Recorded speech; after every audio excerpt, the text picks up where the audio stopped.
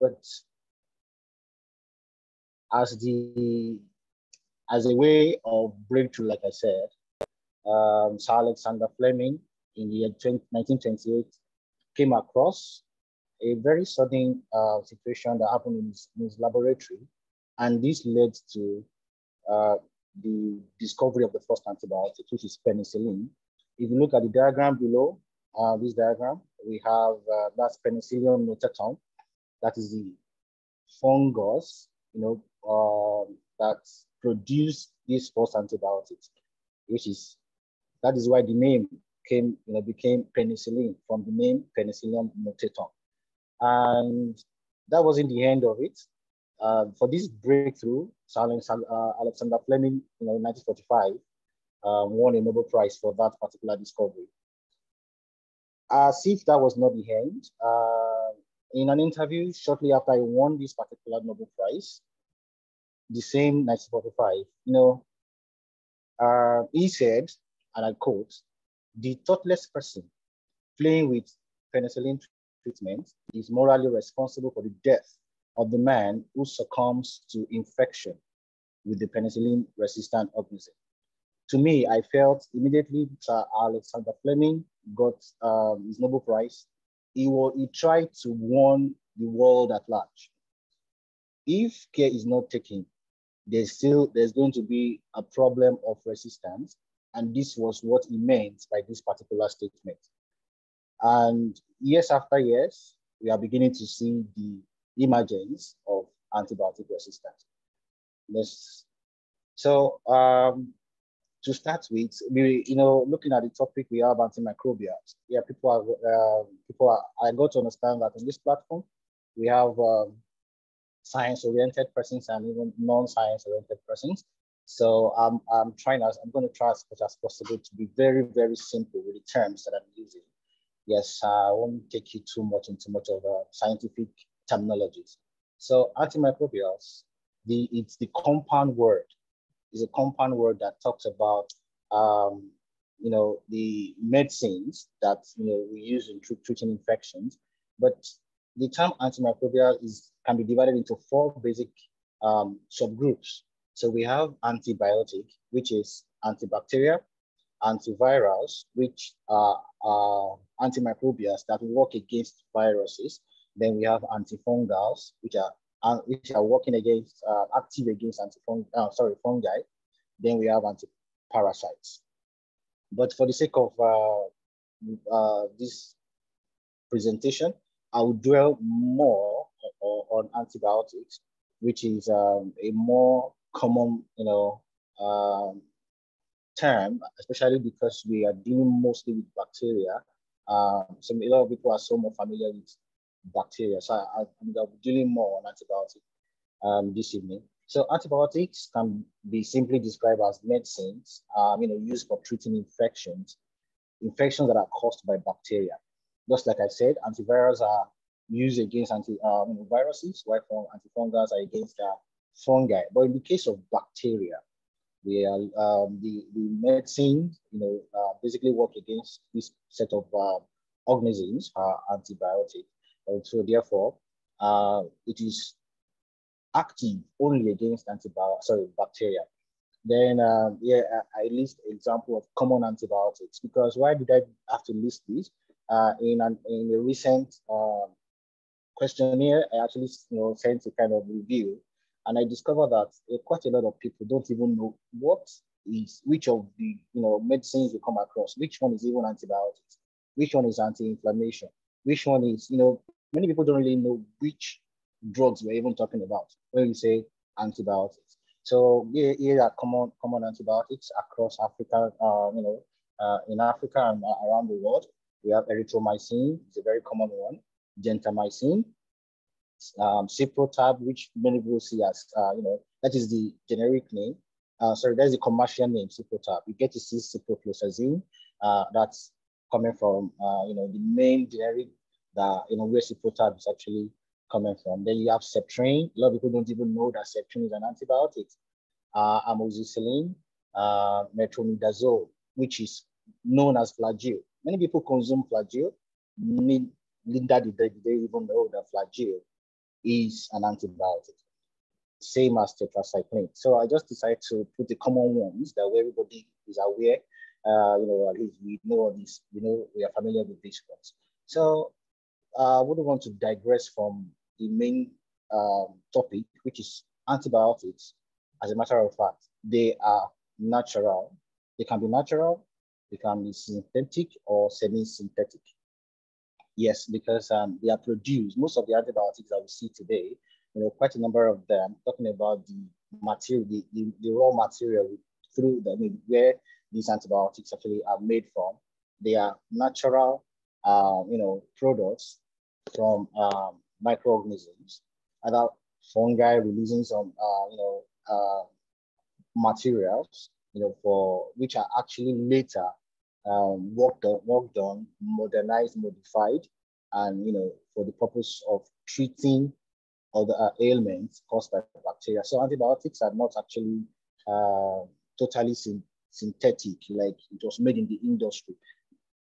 The basics of antibiotics are most of them are natural, you know, uh, products coming from organisms. Organisms, these uh, other bacteria or fungi, like I said, release these materials. You know, they have it as part of their metabolic, um, you know, uh, as, as a product of their metabolism in, in most cases. And so antibiotics is not totally uh, always seen as what you manufacture in the companies. Okay, so that is what I would first of all want us to understand. Then uh, going to my next slide. yeah, just like I said earlier, antimicrobial resistance occurs when microbes. So um, talking about antimicrobial resistance now in its real form, we talked about antibiotics. We now know that antimicrobials, you know, are, are four places where we have the uh, antibiotics as one of the subset, uh, you know, of antimicrobials. So antimicrobial resistance occurs when microbes develop mechanisms that protect them from the effect of the drugs that were meant to kill them. Okay, so antibiotic resistance is simply now a, like I said, a subset. It's a subset of AMR that applies specifically to bacteria that become resistant to antibiotics. So uh, I want to, first of all, I want to chip this in because I've seen quite a number of people say humans are resistant. I would love to make you understand the fact that humans don't become resistant to antibiotics. It is the bacteria, infectious agents that become resistant. If uh, they, I'll, I'll shed more light on this. So what are the recent um, facts about AMR across the world, across the globe? You know, recently, that was uh, earlier this year, 2022, there was a publication by the uh, on, in Lancet that talked that, that that gives an account of about 1.27 million uh, AMR associated deaths in the year 2019. What does this simply mean? It means that in the year 2019, uh, a lot of deaths occurred across the surface of the earth, I mean, across the globe, but 1.27 million of among these deaths were associated with AMR. Yes, so that was the finding, that was what we found, which was actually, uh, immediately this report came out, it was so um, scary, yeah, because prior to this 2019. In the year 2016, the uh, O'Neill, yes, John O'Neill and his team had already done a kind of, uh, you know, uh, estimate, and by their estimation, it was not supposed to be 1.27 million. By the estimation, they were looking at about 700,000 deaths every year. But that was 2016. Only to find in the year 2019 that it has increased now to 1.27 million associated deaths. So it was alarming, like I said, scary. So it tells us that the problem of antibiotic resistance it's uh, it's a it, it's a big problem, yes. And how we got how it became so big, we are gonna see, um, and how we can stem it. I will also like I will also mention because of this um, presentation. So according to O'Neill, like I said, his prediction was that in by the year 2050, looking at the trend in year 2016, he used the, the trend in 2016 to predict the trend by the time we get to 2050. His own is the, their, their, their conclusion was that three persons will, will die. They'll be recording about three deaths every 10 seconds by the year 2050 as a result of AMR. If care is not taken, if we are not, um, we are unable to, you know, stem the continuous spread of AMR. So if we could predict that as, as a 2016, I'm sure if you go by the report we got in 2019, automatically that would have increased by 2050. You will not be expecting three deaths, maybe more deaths uh, every 10 seconds by that time. So uh, this is not to scare us. This is just to make you understand the fact that the problem of AMR is not um, a future problem. It is already here. If as of 2019, we were able to record this much um, AMR associated deaths. Okay, so in this side of the slide, uh, it, we'll talk about antibiotic resistance. It does not only uh, apply to hospitals or healthcare facilities uh, or human health per se. Uh, there's a, a, a cross contamination, there's a cross spread of AMR in agriculture, in uh, human health and health facilities, even in the environment, in the soil, in the water, in um, rivers, as much as we see. A lot of people, you know, looking at uh, the way people dump refuse or companies releasing effluent into the environment, all these are playing a vital, they're all playing vital roles you know, in developing and continuous, uh, continuously allowing the spread of AMR. So uh, this is just a, a, a, a, highlight, you know, to tell that AMR uh, or antibiotic resistance in particular is a problem that is inherent in our environment, not just, like I said, not just in the hospitals. Don't look at it like it's only in the hospitals or only in the agricultural sector but it is all encompassing. Yeah, so uh, which means we have to take more care and more, you know, cognizance when it comes to uh, the issue of the antibiotic resistance. Resistance.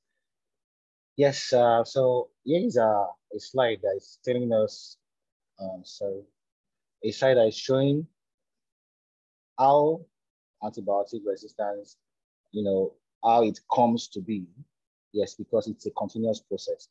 Bacterial resistance towards antibiotics, like I said, can be natural because we're talking about the natural science. Like, okay, antibiotic resistance is not a, is not a fiction. It's a natural science. It's a natural process. Even if you if you decide not to use antibiotics, uh, if you decide not to abuse antibiotics, if you decide to be very very cautious, if you decide to take things and follow the rules or you know, that guide living and antibiotics, um, you will uh, you will never stop antibiotic resistance. Antibiotic resistance is a natural process. And how is it natural? It can be natural, like I said, it can be, it can also be acquired. Okay, so but now tell me about the natural part of it. It is um, I, I, from research, from our understanding, come to realize that antibiotics are let's look at the synthetic and semi-synthetic antibiotics that are produced in our, you know, from the companies or uh, manufacturing companies.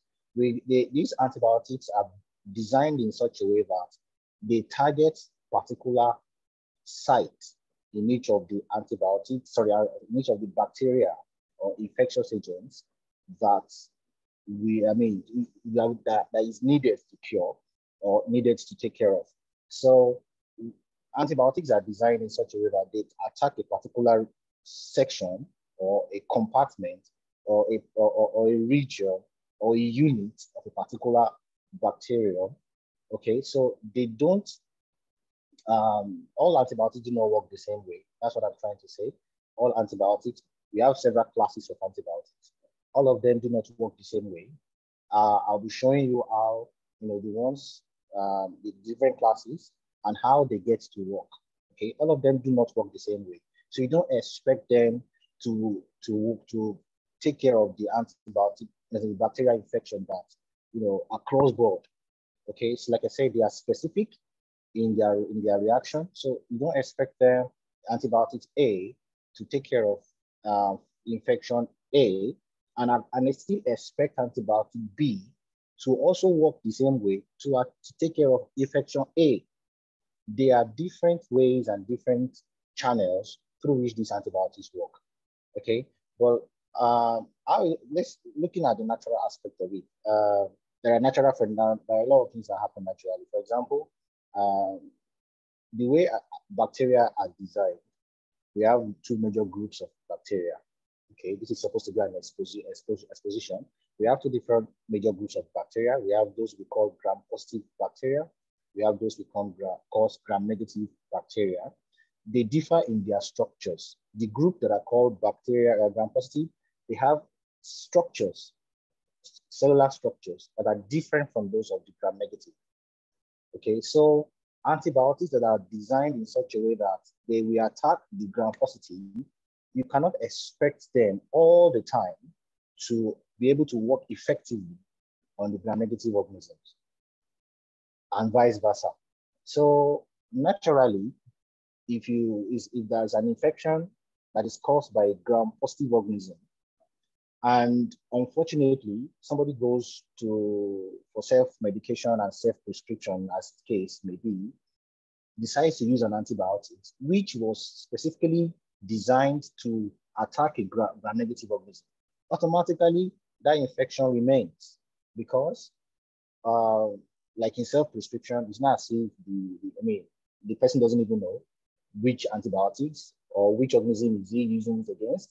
So these are the one of the reasons to prove that antibiotic resistance will always be natural organisms that are that are, that are resistant naturally that are naturally resistant to, to some antibiotics. It's a natural process. Okay. Organisms like enteric organisms, most of the enteric organisms like uh, uh, Escherichia coli is a very common one.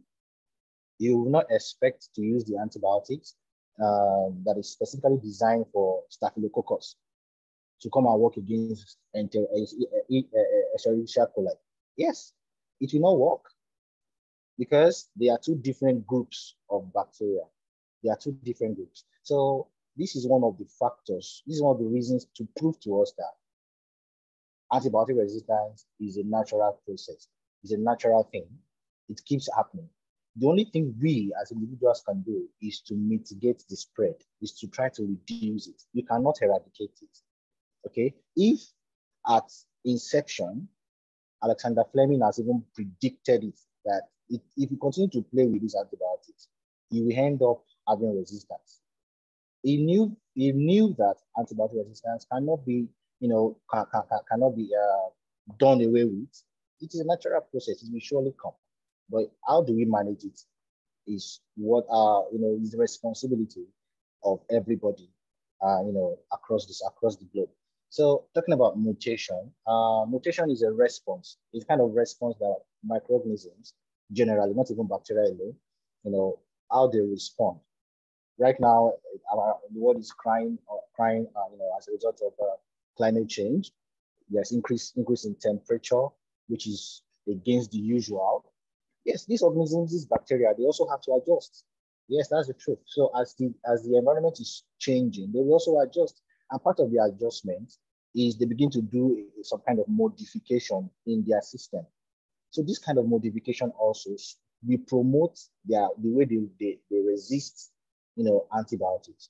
So climate change, exposure to heavy metals, heavy metals in the environment. In fact, that is very common. For example, if you look at uh, electronic waste dump, the way people, the way the electronic waste dump site, I don't know if you have seen many, but I've come across a lot of electronic waste. You know, the way it is heaped up, those metals, by the time they begin to degenerate one after the other, the, when the organisms, these bacteria, are exposed to this e-waste, for example, they begin to develop some resistance. And this resistance also because of the gene that is responsible for this resistance. This also affects the way they respond to antibiotics. So this is the science, this is one of the science behind it. Exposure to heavy metals causes exposure to antibiotics. I mean, causes resistance to antibiotics. The same way herbicides, a lot of our farmers use herbicides today, pesticides, uh, you know, exposure to these materials we cause we cause them to naturally respond to this, and because of this, they become resistant to antibiotics. So these are triggers. We call it triggers. So climate change triggers antibiotic resistance in bacteria. Heavy metals, exposure to heavy metals, you know, triggers it. Herbicides, pesticides, and very importantly, subtherapeutic concentration of antibiotics. For example, many of us, like I said, are looking at people that do self-prescription were supposed to use, let's say, um, 10 milligram of antibiotics, but because you did not, uh, the doctor wasn't the one who predicted, who, who prescribed, you wouldn't know what dose, what dosage to take. And so you might end up taking, you know, a, a sub therapeutic concentration, that is a, a, concentration that will not kill the bacteria. And so when when they, these bacteria are exposed to the small microgram or concentration of antibiotics, it will not kill them. Instead, they become familiar with it. And when they become familiar with it, when you even bring higher concentration, they have already developed some kind of mechanism to resist it. So this is also one of the factors that is responsible for antibiotic resistance.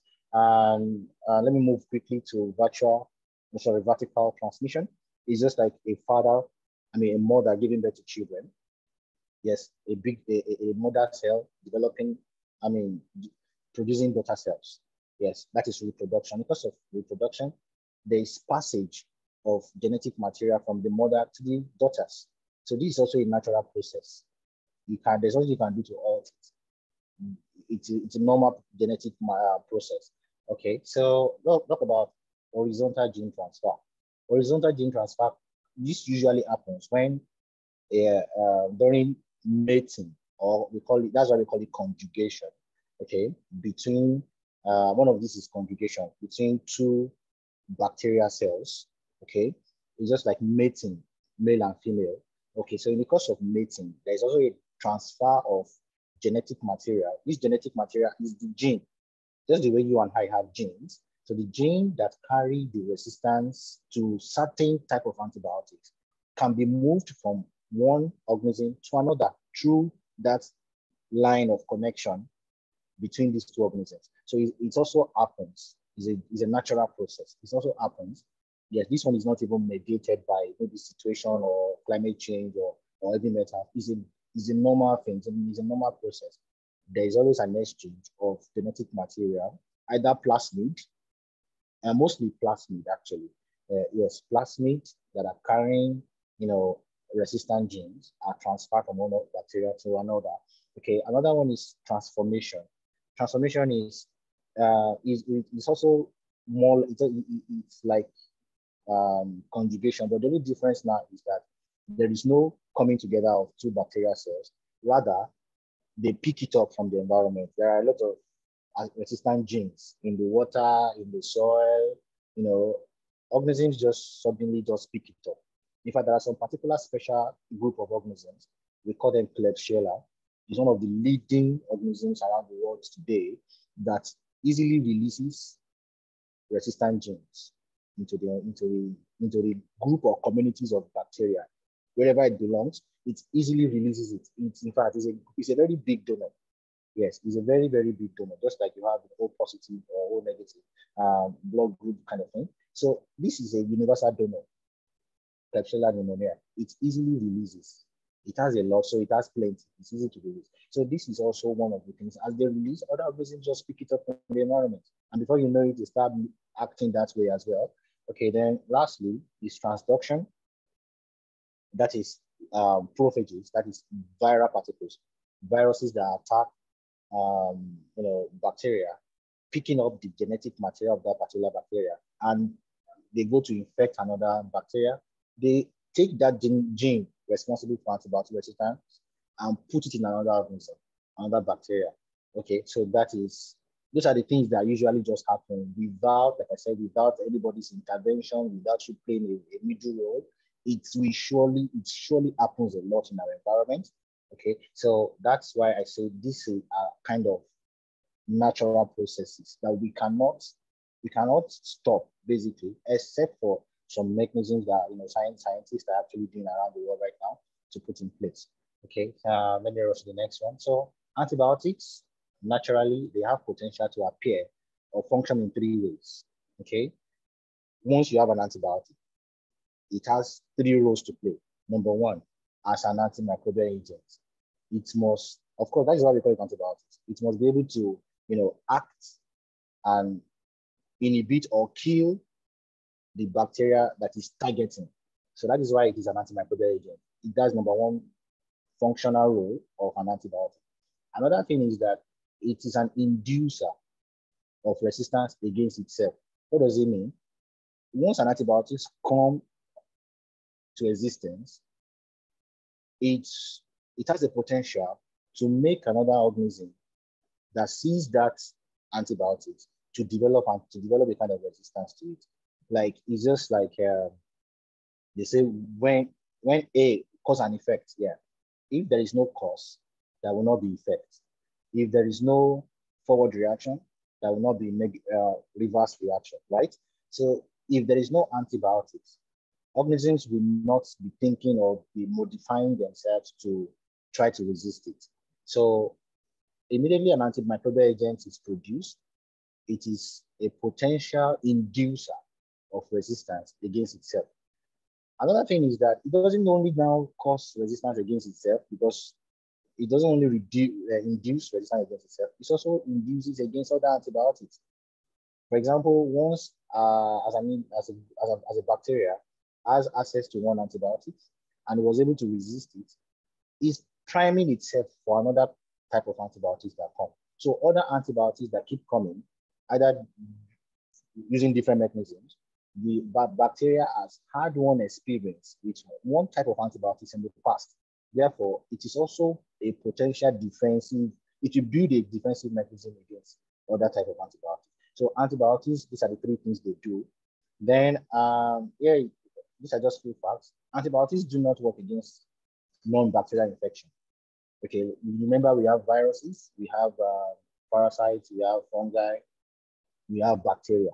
Okay, antibiotics will never work against non-bacterial infection. That is infections caused by viruses like COVID, like COVID-19, uh, infections caused by COVID-19, Ebola, those are, you know, these are viral infections.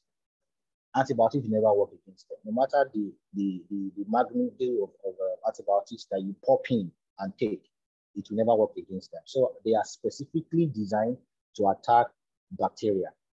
So that's one thing about antibiotics. Antibiotics can be broad spectrum or narrow spectrum. What we mean by broad spectrum is um, they can work against, there are some antibiotics that are designed in such a way that they can work against all type of, anti, of bacteria, either gram positive or gram negative. But when it is narrow spectrum, some of them, they only work against special type of, uh, maybe um, streamlined kind of uh, action against maybe gram positive alone or gram negative alone. Just like what I said initially, if you use a narrow spectrum antibiotic that is specifically designed to work against gram negative, against a gram positive organism, it will not work. And you, you think everybody will be saying, oh, a uh, antibiotic resistance has occurred. Yes, it will occur because that antibiotic was only designed for a particular group of, of uh, bacteria. So these are the things we have to put in mind and understand. Uh, some of the antibiotics react against bacteria based on their gram. I've mentioned this earlier. For example, uh, vancomycin. Vancomycin strictly works against gram-positive bacteria. So if somebody with an infection who does not know, who has not gone for diagnostic test, okay, have infection and use vancomycin, and unfortunately, the infectious agent is a gram-negative bacteria. Unfortunately, it will not work. So that is one of the basics. There are there are vancomycin will never work against gram-negative organisms. Um, also, uh, macrolides. These are a group of antibiotics. They will never work. Most of them work against um, gram-positive bacteria, except enterococci. Enterococcus is also is a, is a kind of bacteria. Uh, you know, uh, is a gram-positive bacteria. Macrolide will not work against it. So we have to know which one does not work, which one work against what. So these are the matrices, these are, these are the matrices, you know, when it comes to antibiotic resistance. But then if you don't know, it's better to just submit to those who know and you know go to your doctors and get prescriptions instead of popping in antibiotics, which eventually will cause havoc in the long run. So another one is penicillin. Penicillin G antibiotics, they are not active against gram-negative bacteria. No matter how much you use, they will never work against it. So um, I'm trying to be fast about this now. How do antibiotics really, really work against bacteria? Number one is they interfere with the cell wall synthesis. If you look at the diagram number one here, they that's um, for every bacterial cell, there is a cell wall. Okay, so in against that cell wall, um, some antibiotics are designed in such a way that they attack that cell wall. Okay, uh, another one is inhibition of function, membrane function. And if you look at this diagram right now, um, this is the cell membrane with the hydrophobic um, structure. Okay, so it doesn't, uh, some reason we open up the space, open up this space so that once you open it up, the antibiotics can flow inside or the, the content of the cell will pop out. That is lysis. It results in you know the death of that bacteria. So uh, some of them target cell wall, some target uh, cell membrane. Another one is the one that interfere with the nucleic acid, that is the DNA or the RNA uh, replication. Also, inhibition of protein synthesis. We also have metabolic pathways and uh, then ATP synthesis. So uh, if you look at this side of the slide, I've actually uh, highlighted some of them. The ones that attack protein synthesis, they are different. This is a group of them. The ones that attack cell wall, we have cephalosporin, carbapenems, glycopeptides, uh, folate pathway inhibitors, we have sulfonamides. Then DNA replication inhibitors, we have fluoroquinolones. So if you don't, uh, that is why it is not just good to just take antibiotics. You just go to the uh, counter and buy antibiotics because you don't know which work against which organism. You don't know the pathway. You don't know the the, the, the, the, the process of uh, sorry the, the, the mechanism. Yes. So you cannot just it, it is very wrong to just go buy antibiotics. Okay, because like I said, it has an adverse effect in the long run. Uh, how do many of the antibiotics work? Uh, oh, sorry, how do these organisms now resist? Um, they do target site modification. Antibiotics that are meant to target a particular site.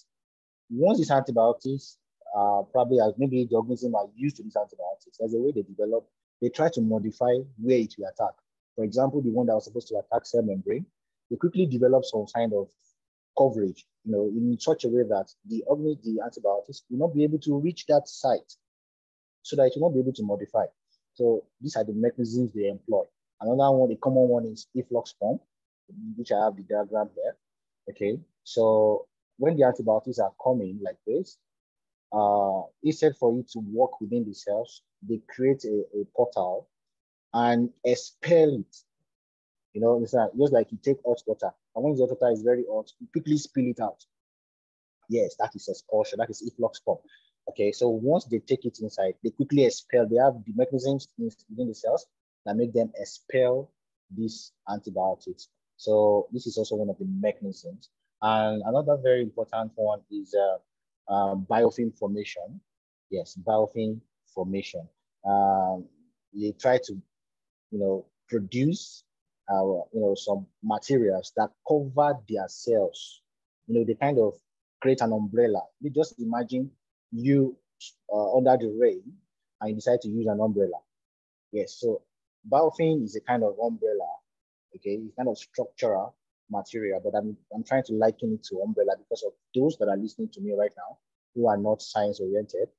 Uh, it is a kind of coverage that stops the access to antibiotics. Okay, so when you use antibiotics against this particular group of organisms, they produce biofilm so the they will not allow the antibiotics to get to them. So these are one of the ways they get to resist antibiotics. Okay, so yes, I decided to put this particular diagram for us to have a general knowledge of what of how it works, antibiotics, stepwise process, how it actually happens. So if you look at diagram number one here, there are these are this is a cell that that contains um, ground that contains bacteria. Okay, so the, the, the organisms that are blue in color, these are normal antibi- uh, normal bacteria that are not resistant. But the ones with the orange color are the ones that are resistant naturally because they've developed some kind of resistance over time. Yes, so you can see the population, they are not much, but they are, they are also in the same environment with the ones that are not resistant. Okay, and when you when you use antibiotics, maybe you use antibiotics to clear the infection. Uh, the antibiotics will kill the ones that are not resistant. You can see the diagram too. The ones that are not resistant, they are dead or their, their, their growth has been inhibited. While the ones that are resistant are the ones that are remaining in that cell. Okay, so it doesn't stop there. What, what happens? They begin to multiply in stage three. Look at it. They begin to multiply. After all, you have killed the ones that are, you know, competing with them. Those ones are done. So they now have the full grasp of that particular environment and they begin to multiply. They multiply. So they do not just multiply alone. Even when new organisms are now coming up, maybe those that are not resistant, the new, you know, new lives are coming up, they begin to transfer what make them resistant into the newly upcoming organisms. So that is the process of antibiotic resistance. That is that is just a, a, a picture uh, of how it happens. Um, okay, looking at the case of AMR uh, and the problem that we are facing right now, I try to say, okay, how did we actually end up here? Um, use in human and animal medicine, you know, a lot of people misuse antibiotics. Um, they use to increase growth of farm animals. Yes, a lot of uh, animal farm. You must have heard from maybe many of you have heard about this, but uh, I'm sure quite a number of people do not have not or have not really come across this. So use of it, they use antibiotics, they mix with food, with the feed, animal feed, to in, in order to increase the growth of the animals. But they are doing this, yes, they with a positive mindset in view, but unfortunately it has a repercussion because you are predisposing, pre-exposing these, these uh, animals in, you are pre-exposing them to antibiotics, either in low concentration or in higher concentration. So the bacteria that are inherent in them are exposed already. And before you know it, they are beginning to develop resistance. Okay, and look at the, the third one, which is used for routine treatment in humans and animal farms. Where we say routine treatment, for example, many people just use antibiotics. We call it prophylaxis. Okay, in the case of prophylaxis, they use antibiotics not because there is an infection, but just because you just want to pro protect them. Because you just want to, and human beings also do this. Even when they are not sick, they use antibiotics. They just want to protect themselves. You know, I, I, um, time enough permits me to start mentioning a lot of incidences that we have seen, in, especially in sub-Saharan Africa, where people, you know, pack antibiotics in their bags and use it for some, you know, they use it um, in the with the mindset that they are trying to protect themselves. Yes, uh, many people use it to prevent sex, uh, uh, infection after sex, and several other, other scenarios like that. So routine treatment is not as if there is infection, but just like you don't want infection. So let me just use it to protect myself against an infection that is not even here yet. So it's a very, very bad practice. It is done in farm animals. It's also used in human, human healthcare. I mean, humans do this. And also look at over and or under prescription of antibiotics.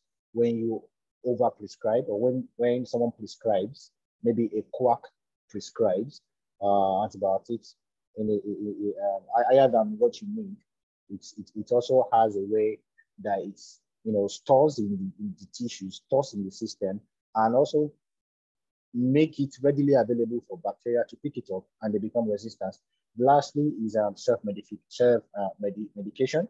Uh, let me just jump to the next slide. Okay, so what can you and I do to resist, I'm sorry, to, to, to come to reduce the spread. Like I said, you cannot stop AMR, but how can we reduce the spread of our AMR or antibiotic resistance specifically? Um, always visit or ask your doctor for advice. Um, don't assume based on symptoms. Many people, once they see symptoms, oh, these symptoms looks like malaria. The next thing you are buying anti-malaria. You're not even going to the hospital to go test. Okay, so don't be so used to symptoms. I know these symptoms. Once I begin to have fever and headache, I think it is typhoid. I think it is this, and you're beginning to buy antibiotics. So that's a very bad practice. Um, say no to self-medication. Then um, this is a this is a very major one that we are still battling with across the um, Africa, across Africa, and maybe some part of the world at large. Buying drugs over the counter without just doctor's prescription. I just hope this law is, uh, you know, implemented. This policy is implemented across board. Do not share your drug with someone else. Do not keep drugs in the house for future use. Always finish the course of your drugs that has been prescribed by physician. Then this is another one which I know the practice is not so common. One doctor prescribes drugs for you and you finish the course of the drug, you're done with it. But the remaining ones, the actual practice, the normal practice is that you return all unfinished drugs to the pharmacy. But I'm sure we don't do it. Yes, uh, yes, a lot of countries don't even do this, but this is the actual, this is the right way around it. Then uh, talking about personal hygiene, um, wash hands, um, uh, you know, wash your hands regularly before and after handling or um, and preparing food. After visiting the convenience, you know, that's the, the, the restroom. Then another thing is this one, I decided to highlight it because it is something I have found out but a lot of people, it has not been documented basically. If you're on antibiotics medication, disease from open defecation or urination. The reason is because when you take antibiotics, uh, I don't know, many of us must have actually experienced it, that when you take antibiotics, the urine starts to smell and you even can perceive antibiotics in your urine.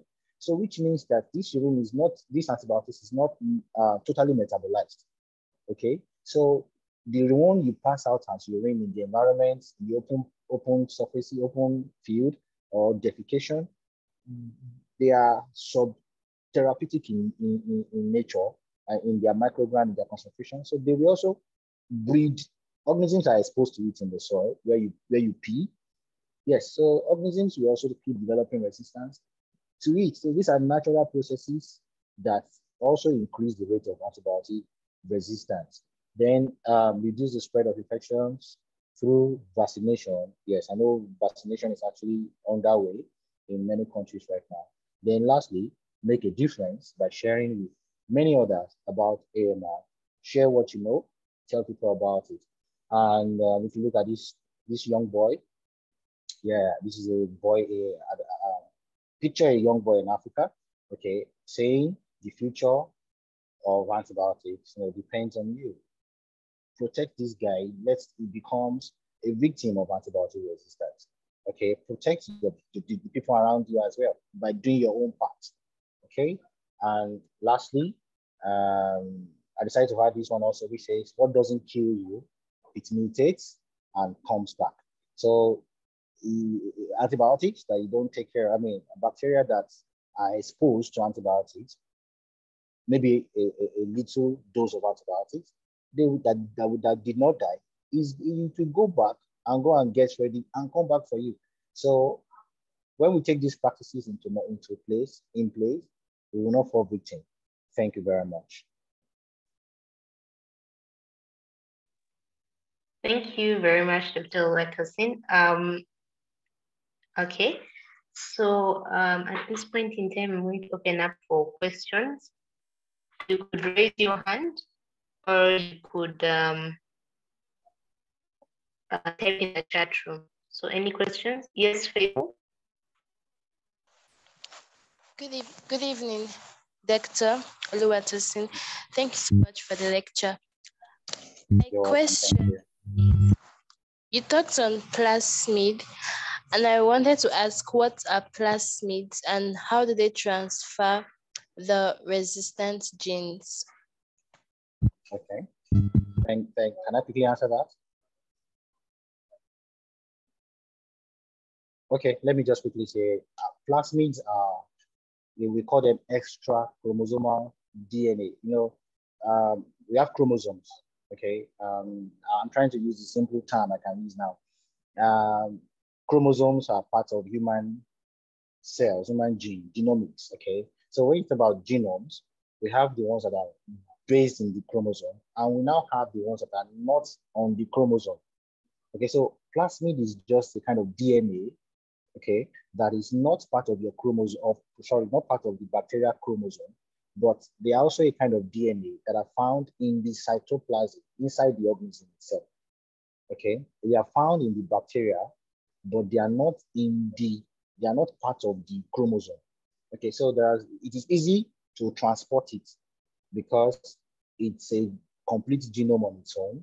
So like I said, during maybe during uh, conjugation, you can easily pass it across to the next organism.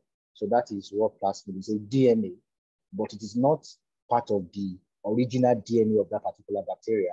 It is just something they pick up in the environment, plasmids. So that's plasmid. It's an extra chromosomal DNA. I hope I'm able to explain that well.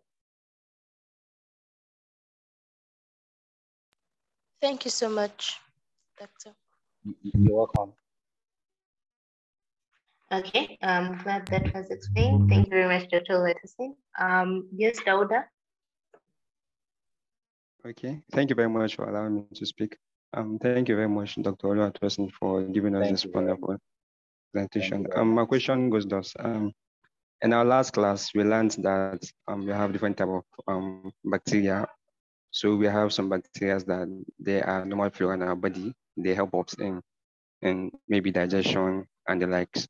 So um, when you are talking about how antimicrobial resistance occur in general, you made sure you mentioned of about um, anti antimicrobials, let's say antibiotics specifically, they work based on target sites.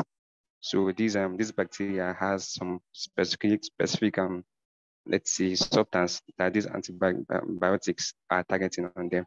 So my question is that um you you, you said there that um in some cases, in most cases, even the good bacteria, which are the normal flora, are also killed. So is it that the specificity of um, antibiotics is not that kind of that kind of um, um accurate in the sense that it also kills the, the good bacteria. Like doesn't it have a specific things that is checking on the like the bad bacteria, like to differentiate Okay. between okay, this is the bad bacteria and this is the good bacteria. Thank you very much. Yeah, Okay, thank, thank you for that question. Uh, I was I'll quickly uh, answer that. Yes, uh, when it comes to drugs, basically, uh, you know, when drugs are produced, yeah, there is, there is high level of specificity. Yes, um, but most of the specific uh, antibiotics now, they, they, when they say specificity, yes, some of them, for example, those are targets, um, maybe they just target the cell, cell membrane, for example. They, they don't, okay, or let me put it this way. When you have, let's say you have E. coli, Escherichia coli, which is a common antibiotic, common gram-negative organism, okay? Let's say you have an E. coli that is not, that is susceptible, but that is not, uh, a normal flora, and is not causing um, infection. And you have another one in the same environment that is actually the causative agent of that infection. Some antibiotics may not be able to differentiate which one is the E. coli that is causing antibiotic, causing infection, which one is the E. coli that is not causing infection. But it directly goes for E. coli. There are some antibiotics like that, especially the broad spectrum ones. Yes, especially, most of, especially the broad spectrum. They target organisms that fall in line, allow that you know that fall in that particular target. Yes, uh, when it comes to specificity, um, I think the specificity when it uh, that should be faces there are th there are other subjects of specificity, but it doesn't really address most of the time address which organism um, you know, in the same group, for example, maybe like I said, E. coli, E. coli 1, E. coli 2, one is causing infection, the other one is not causing infection. But once antibiotics come in, they clear all the, if not all, most of the E. coli that are there. Okay, so some antibiotics are designed that way, especially also when you are doing combination therapy. Maybe um, ampicillin cannot, we after doing um, diagnostics, and they figure out, okay, uh, ampicillin might not be able to take care of this alone. They decide to add maybe, for example, tazobactam or tazobactam piperacillin combination. Those kind of antibiotics, they, they, they might not be too specific, you know, to look out for which one particularly. So they just go there, take care of the organisms that are there. So that is the case. So it actually varies also, but that is what happens most of the time So um, I don't know if you have heard about probiotics before, probiotics, prebiotics. This is another subject entirely. But what probiotics are just looking GPT is that probiotics are now designed. They are food materials, naturally occurring food materials that you know the are being advised that once you use antibiotics, use these probiotics. Okay, this type of food like yogurt is a kind of probiotics. Use this kind of food that it will bring back those organisms that have been cleared away, but they were supposed to be helpful in your system. But unfortunately, antibiotics has cleared them away. So you are supposed to take probiotics in order to balance it again. Okay, that is probiotics. Like I said, it's a different topic entirely. So I hope I'm able to answer that question. Yes, sir. Thank you very, very much. Thank, thank you. Okay, great. Um, so on to our next question. I see that this session was very interesting. We have a lot of questions for you, Dr. Watterson. So yes, Winnie, uh, ask the question. I wish the people who are in the chat room after. All right. Thank you so much, Doctor, for this brilliant presentation. Um, so my question is, so um, if I understand all what you've said perfectly, um, no matter how cautious we are about antibiotic resistance, it still remains inevitable because even if we follow our doctor's prescription, even if we prevent self-medication, we'll still have to use antibiotics at some point, like in prophylaxis before surgery. These things are like unavoidable. So we can only try to prevent the fast rate of resistance, but we can never actually stop resistance. We're just trying to push resistance ahead in a certain generation in the future. So my question is, there's going to be a generation in the future that is going to experience full blown resistance. Is that correct, sir? Yeah, I think, um, yes, I, I want to agree with you partially. Yes, because uh, that is if, if uh, like what you said, we are not trying to stop AMR, we are trying to reduce the spread of AMR. Okay, and if the whole world, for example, comes together and we all cooperate and try as much as possible. Maybe that generation you're talking about, yes, we, we meet the, the, the normal um, rates, maybe not the full blown rate, if the trend continues like that. If everybody keeps taking care of and being careful, maybe if you continue to pass that character, that, uh, you know, trend across from one generation to another. Maybe that generation might not even experience a full blown. That is why I, I, just want to, I don't want to totally agree with that. So, so in a case where that generation actually experience full blown resistance, it means like most people in that era are going to die. Most, if not uh, all.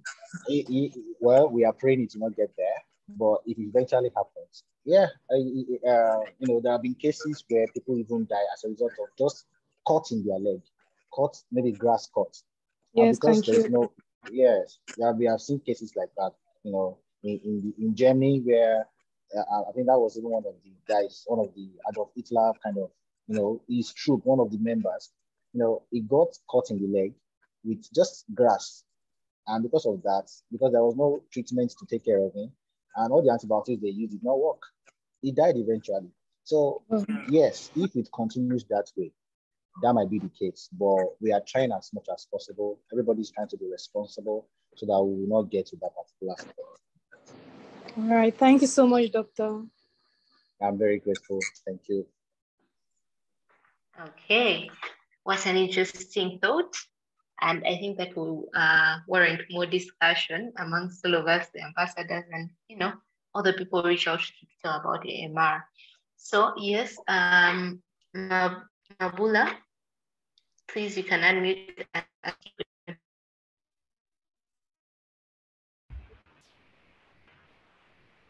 Hello, doctors in the audience. I'm so glad with the presentation of today. I had a question, and my question is one day I hear that the microorganism can, uh, can attain or can have a resistance properties when exposed to heavy metal in the soil.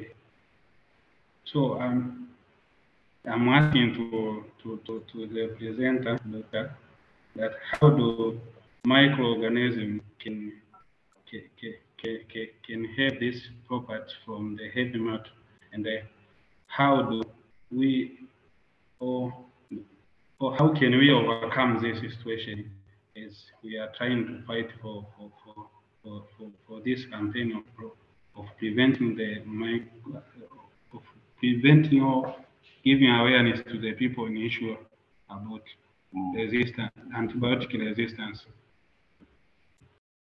Yes, thank you very much uh, for the question. Um, to start with, I think I will talk about the awareness.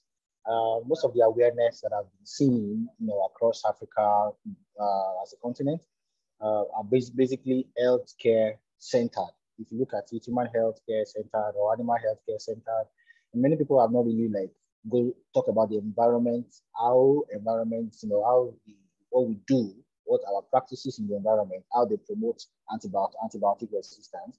For example, I made mention of herbicides, heavy metals. Yes, it, it, people keep using herbicides, but they don't even know the, that the components of herbicides and pesticides, the chemical pesticide and herbicides, the, the materials that are, that are, that are chemicals that are used in producing these things, they they trigger these organisms. They trigger their response because they are trying to defend themselves against these things. And in so doing, the, they are also priming themselves against any kind of antibiotics. Okay, so I think the awareness should take a next level and involve the environment. Yes, if that is put in place, and also maybe in, in uh, agriculture, I think agriculture also has been able to be streamlined. People are talking about animal health mostly, and not even talking about the you know, farming practices. That is also one thing that has to be, you know, taken care of. The information has to get to them. Heavy metals, people still dump heavy metals in the environment. You know, when you go to dump sites, you see used laptops, used phones. These things they degenerate over time when they are exposed to to to uh, to, to the environment, to water. They, they keep rusting, and these particular metal, um, uh, you know, um, trailings once the organism are exposed to it, it acts, there's something we call co-selection. It acts as a co-selector for antibiotic resistance. So the awareness has to go full blown. We are not done there. We are not there yet across the globe. I want to believe that we are not there yet in terms of yeah, awareness. And yes, so but we keep uh, you know educating ourselves. Thank you for that question, sir. Thank you, doctor, for the for the good answers. I'm satisfied with the answer. Okay, I'm glad to hear that. Um, on to Joseph. Okay, thank you. Can you hear me? Yes, I can hear you. Yes, Okay, thank you, doctor, for your nice presentation. I'm Joseph Zimana from Rwanda, and I'm yeah, currently uh, student in dental surgery, year five. Wow. Uh, basing on what, what you said during the presentation, uh, I've learned that like it's not good, really not good to use bacteria and uh, antibiotics, to use antibiotics as prophylaxis. And then uh, this brought to me having like a confusion. Like we were always being told that like if we are receiving a patient uh, with poor uh, oral hygiene, and then we are planning to do like uh, uh, some treatment, like let's say like extraction of the tooth, which will uh, lead to like breeding. So if you are going, if you are planning to do uh, that treatment and you can, you are seeing like oral hygiene is totally poor, not good at all, so they always like advise us to give uh, those antibiotics. Mainly, we are using amoxicillin uh, as prophylaxis so that we can prevent the spread out of uh, those infection from oral cavity to a systemic way. Uh, so basing on that, what can you uh, comment uh, about uh, that relating to the what we have learned through this presentation and uh, that things I shared with you. My second question okay. is like, I've been hearing there are like there is there are two main groups which can class can we which we can use to classify uh, antibiotics. They are saying like some are bacteriostatic and others are bactericidal. Can you uh, comment on those two, two terms uh, by giving which one is uh, good to use? If there is, if among those two, one is, uh, yeah, like comment which one is better than other. Okay. Uh, okay. and then the lastly, I would like like to to ask you if possible can you share us like this presentation maybe via email or any means? Because, uh, okay. for example, for me, I was been having like some troubles to join previous session. Maybe I'm planning, I'm, I'm thinking like maybe there are some other who didn't get chance to attend this good session. So if possible, you can share with us uh, the presentation via email. Okay. Thank you. Um, thank you very much, uh, Joseph. Yeah, I have to be swift about it. Yeah, so the uh, let me start from the first question, talking about the prophylaxis. Yeah, I think uh, prior to this time, because this is this is like a wake, a wake up call Okay, prior to this time, a lot of uh, this particular practice you make mention of, which is the use of um, antibiotics to treat. In fact, I think uh, I'm aware of the fact that the, uh, uh, dentists use ant antibiotics, you know, to as a prophylactic treatment, you know, for oral, oral uh, maybe surgery per se, especially when you notice that the patient is uh, has an oral, the oral, you know, area is bad and probably well too infected or um, a, a, high bacterial load. Let me put it that way. Yes, it is actually supposed to be like that's way it has been. But I think the beginning, since AMR is beginning to, you know, the, the, the advent of AMR, a lot of a lot of uh, normal processes, or let me say what we used to term as normal processes, are beginning, people are beginning to review why do we have to continue this? Okay, why do we have to continue this? So one thing I think I want to say, I may not have the perfect answer to that question, but one thing I want to say is uh, as pre-exposure, pre-exposure of individuals or even the bacteria to antibiotics has a tendency. Yes, it might not be 100% the, I'm not, I'm not say it 100% cause antibiotic resistance, but it has a tendency, you know, to lead to antibiotic resistance. Because what if uh, there is no, uh, the organism is not, is actually resistant, maybe by the time you even use, because you're not even sure that when you use amoxicillin, for example, that all the bacteria will die in that mouth cavity, in that mouth, uh, before you do the surgery, or before you take care of that dentist, um, before the dentist takes care of that patient, there is no 100% assurance that organisms, all organisms are eradicated. Okay, um, I would like to know if uh, you do, let's say you do like bacterial tests before, and even after you have applied the ampicillin, do you still go ahead to do the test to be sure that all the organisms have been eradicated? I'm sure these practices are not so uh, I'm not sure that is part of the practice. So what I'm trying to say in essence is, yes, prior to this time, that has been the normal thing. But a lot of people are beginning to review the curriculum now of different um, you know, um, practices, especially pharmacy, um, dentistry, medical personnel. Everybody is trying to review it. So I would say, I would advise that it is reviewed. Maybe there should be an alternative to taking care of something like that. Okay, maybe there should be an alternative because we know that if it continues that way, there will be development of antibiotic resistance because yeah, amoxicillin, like you said, you have not tested it. You are not even sure if the dosage you are using is enough to take care of that particular organism. but it's just to prevent it. That's why we call it prophylaxis. So I think um, that should be reviewed by maybe the dentist association or uh, I may not be able to have much to say about that.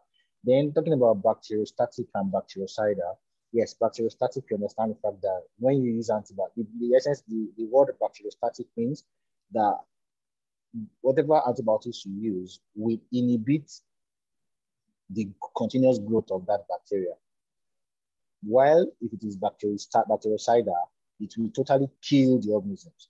Okay, so bacteriostatic doesn't mean it will, it will not kill the organism, but it will render them inactive. Okay, render them, make them uh, unable to continue to, to reproduce. But in the case of cider, bactericidal, it totally kills the, time the organisms that are present. So it depends on what the, whoever is doing that aims, uh, sorry, wish to aid, to achieve at the end of the day. So we, we remember, I mean, we see that people administer drugs for bacteriostatic reasons. Some do for bactericidal reasons. So it depends on what they intend or whoever is doing that intends to achieve. Okay, so uh, either ways can be used. It depends on who is doing what at that particular time. Then lastly, yes, I I I, I think I would love to share my my slide. Uh, I'll talk with um, the coordinator and have her. Yes, uh, I'll find a way to send my slide. So it's a very interesting questions you have asked. Thank you very much, Joseph. Thank you, Doctor. You're welcome. Okay, great. Um, like I said, there are very many questions. And uh, I think that is owed to your wonderful presentation, Dr. Watterson. So um, please, for next questions, let's try to um, explain them, but in a summarized way so that uh, we can finish up all the 20 questions that are left. Okay, yes, please unmute ask your question. Hello, can you hear me? Yes, we can hear you. Oh, so my name is Nick. I'm from Kenya. I had uh, three questions. Question one, uh, which, which, which group of uh, uh bacteria exhibits high resistance ever since we came into the era of antimicrobial resistance. So which one exhibits and what are the particular reasons that we might attribute it to so that we say that if maybe it's gram positive, it uh, throughout the generations we have seen it exhibits a lot of resistance because of A, B, C, D. Or if it's gram negative, it's because of A, B, C, D. And how is the pharmacological industry also involved? and that one also ties to question two. What is this cycle of resistance? Because maybe we perhaps have first generation, second generation drugs, third generation, and we realize that the bacteria that in, was intended for first generation, yes, there are those uh, uh, uh genetic changes, those mutations that happen so that they exhibit. And also there is a response from the pharmacological world. So what is this cycle of resistance and how far have, uh, have we gone? How uh, uh, maybe perhaps in terms of mechanism and also to the best of your knowledge, uh, how far have we gone? Then the third question and the last one is that uh, in terms of antimicrobial stewardship and resistance, how is the setup currently? Uh, and, and, and, and what are we really doing in terms, especially microbiological scientists, so that we, we, we as much as we do not uh, completely eliminate it, we reduce it. Thank you so much. Yes, thank you, Nick, uh, for the question. Uh, I would like to first of all start from the very first one, talking about gram positive or gram negative, like which one and why are they more, uh, if there's any record of which one is more prevalent and why are they like that? Okay, um, uh, if you look at um, WHO priority list, uh, they, there are a group of organisms on the WHO priority list, and they are categorized in the in group of, you see, critical, or let me say highly critical kind of organisms. And you see in that order, critical, um, like mid, then you see um, less critical. I'm just trying to paraphrase.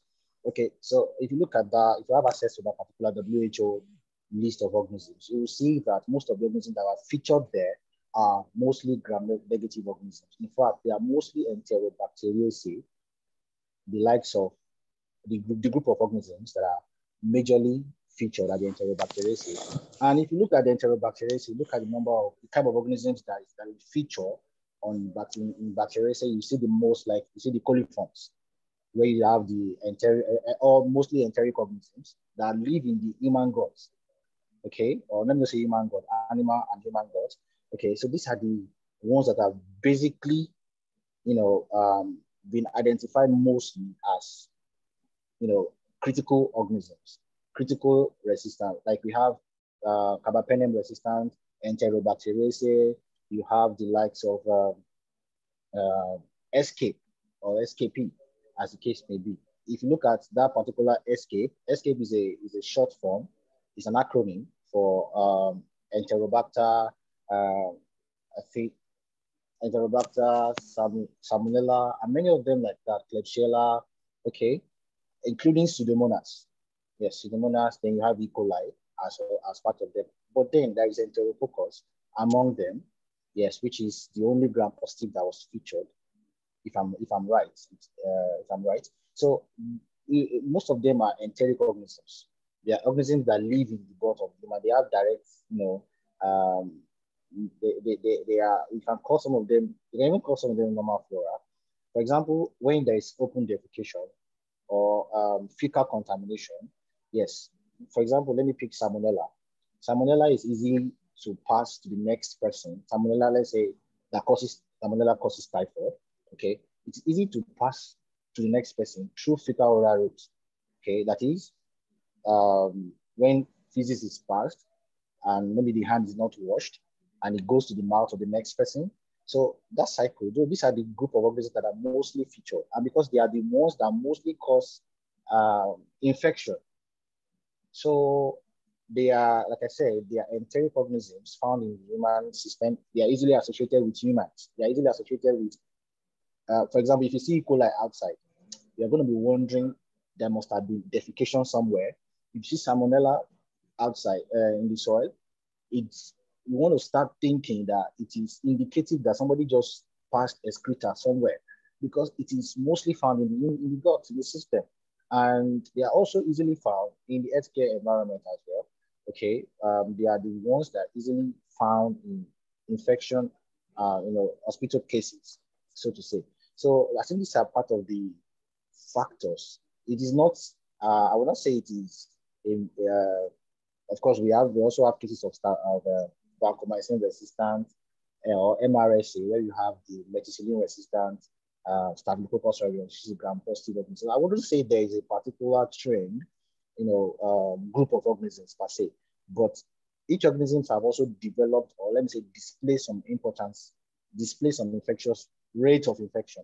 So these are, I've mentioned there are some gram positive acids, but mostly now are the gram negative organisms, mostly which are enteric organisms found in the human, uh, found to be associated with human and animals. So that might be because in most of the cases that we have also seen in the hospitals, um, these gram-negative organisms have been, you know, uh, found mostly. Uh, there's another one, uh, which is uh, Acinetobacter baumannii. It's also very, very rampant these days. So it's a gram-negative organism. So most of the cases I've been seeing are gram-negative organisms. I might not be able to tell that this is exactly why we are seeing more gram-negative than gram-positive, but the truth is the enteric organisms are well represented in the number of organisms that are seen out there as agents that are resistant to antibiotics. Then talking about, I think I didn't get your second question, but let me jump to your last question, which is talking about uh, stewardship. Yeah, stewardship flows from you know individuals. These are individual responsibilities. That is, what do you do in your own field of study, in your own area? How do you practice? What are the practices that are put in place to reduce the spread of antibiotic resistance. As an environmentalist, which I am an, as an environmental microbiologist, there are there are things we put in place individually. There are consciousness. We are in the consciousness of what we do, so that we also, you know, increase the practice. Like stewardship doesn't stop at your own personal practice. The awareness is also a part of stewardship. Yes, how much awareness do you make? How much do you tell people? How much publications have gone out there? How much uh, awareness campaign have you been have you done? So these are the areas of stewardship. It doesn't only mean that you have to, even doctors, medical doctors as well, they also have roles to play. A part of the medical doctor stewardship is you tell your patient, a patient is forcing you, you must give me uh, antibiotics. Yes, there are patients that tell their doctors they want antibiotics. It is a duty as a steward to tell the patient that you're not supposed to, sorry, uh, we'll be managing you on, you know, just need to take rest, explain to them why they don't need antibiotics. So this is part of the stewardship. Stewardship is open-ended. Yes, stewardship is open-ended. You just have to understand what role you want to play and take your own part of the campaign and do it, do justice to it. So, um, like I said, I am unable to answer your second question, but then uh, I just hope I've done justice to this ones I've, I've done. Nick. Okay, thank you so much. It's no problem. Maybe we'll still answer it in the course of okay. Uh, okay. the program. Um, sorry, thank, you. Thank you very thank much. You. Okay, um, so next we're going to have Mohammed and then Adrian, and after which I'll rush to a few of the questions in the chat room. Yeah, so Mohammed. Okay, thank you, Dr. Oluwatosin, for the wonderful presentation. So I have a quick question on your on your slide, you made mention of some bacteria that react against um, um, some antibiotics that react against bacteria based on gram staining, and you made an example of um, macrolide, which acts against gram-positive bacteria, but there was an exception of enterococci. So I don't understand does enterococci, is, an, is enterococci a gram-negative bacteria or is it a special kind of gram-positive bacteria? I want some little clarification on that. Thank you very much, sir. Okay, thank you very much for your question. Um, as for yeah, macrolide is actually macrolide. If look at macrolide, it's actually one of the antibiotics. It's actually one of the antibiotics that you know um, is active um, sorry the mode of uh, uh, mode of mode of um, action is basically to attack the ribosome okay? Because it's actually an um, uh, is is on is actually involved in amino acid breakdown. Yes so uh, i think by natural design it is meant to attack gram-positive organisms. But there are features in the enter in the enterococci there are features in their in their cellular uh, cellular uh, compartment, okay, in the cellular machinery, let me put that way, there are some setups in their systems that do not allow macrolides to penetrate to work on them. Yeah, so it's a systematic kind of advancement, which makes it so different from other kind of gram-positive organisms. So we are right when we say macrolides attack gram-positive organisms. Yes, only, but with the exception of enterococci. Yes, because the way they are designed, the way the cellular setup is, it does not allow the inflow, it does not allow the interaction of with macro macrolide. So that is just the only difference. Okay, thank you very much, sir, for the answer. Thank you for the question too. I'm happy to answer.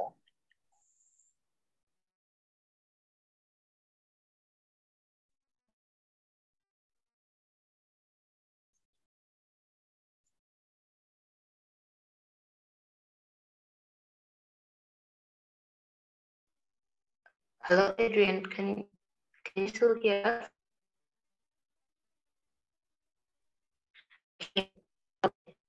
I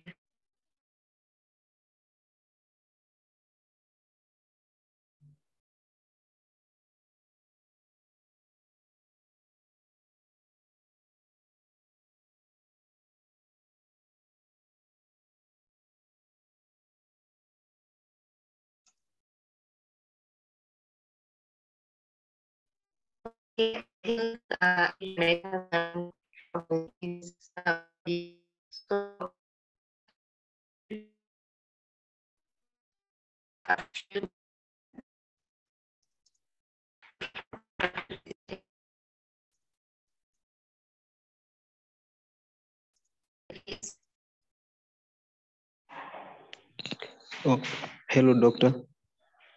Yes. Um, my name is John, right? Yes, my name is John from Kenya. I wanted to ask a question. Does genetically modified organism increase the chances of antimicrobial resistance? Okay, um, thank you. When you say, when you talk about GMOs, uh, GMOs are modified for particular purpose. Yes, so uh, I don't know, for, it depends on what they are modified to do. So when you say modification, um, talking about GMOs, like I said, they actually modified for particular purpose. So the whoever is modified, generally they are not even allowed.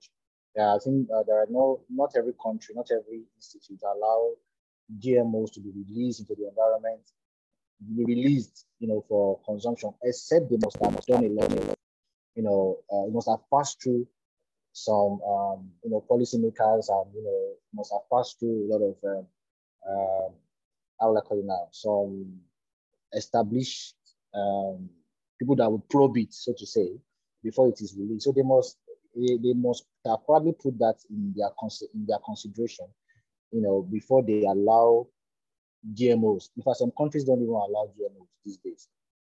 So because if it is modified to do one thing, and this alteration, it's possible that the alteration will alter some genetic materials and make the organism to also keep um, you know, resist antibiotics. It's possible if it is not well if if it is not well you know worked on. So before the GMOs are released to the environment, there are several tests that are done on these GMOs.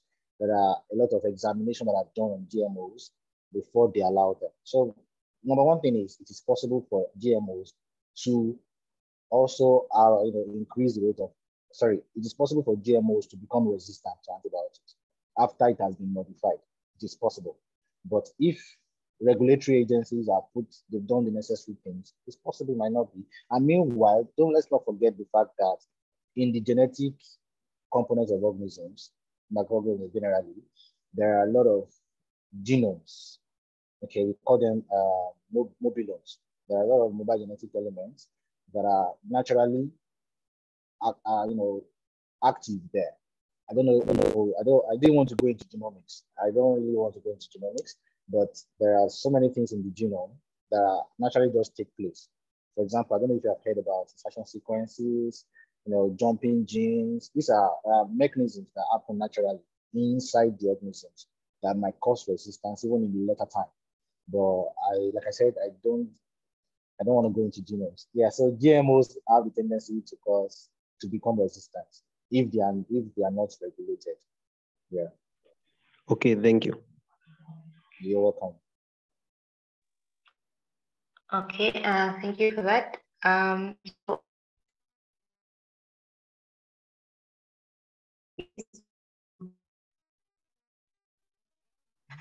uh, you had, uh, sir, please, you said it is necessary to return unfinished drugs to the pharmacy. Please, could you tell us why?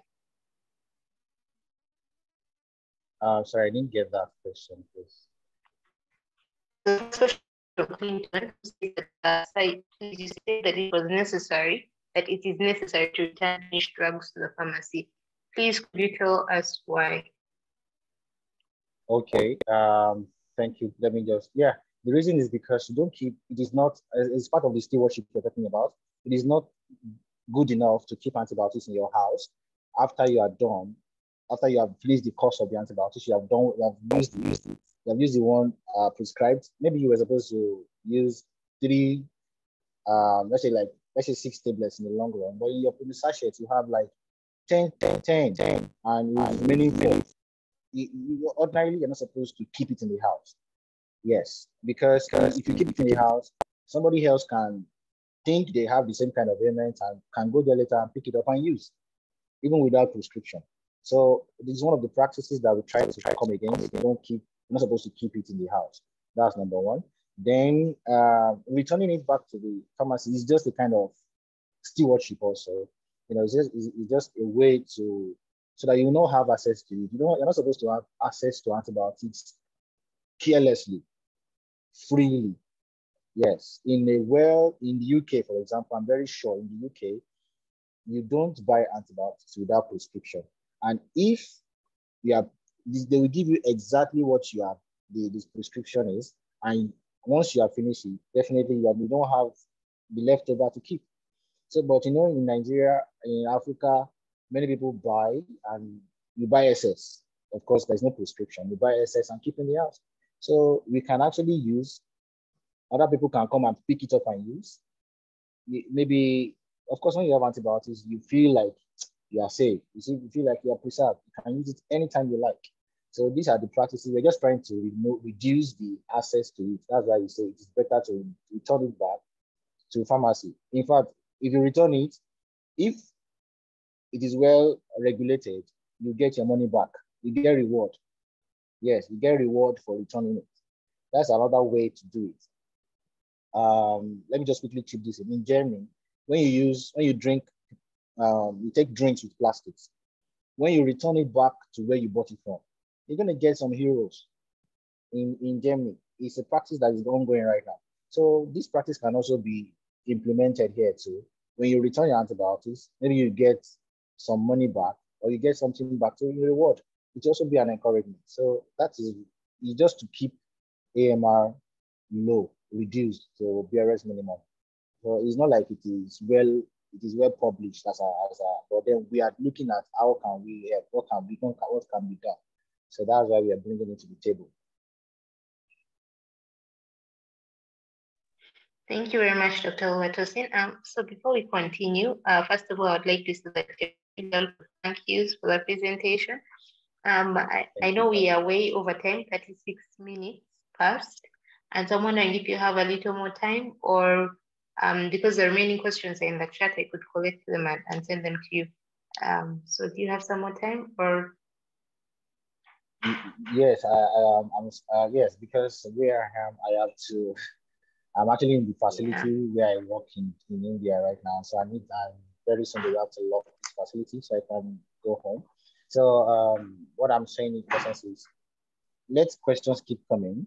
Um, in, you know, you can forward them to my email. Definitely, I will respond, and they will get to the respective persons that have asked these questions. Okay.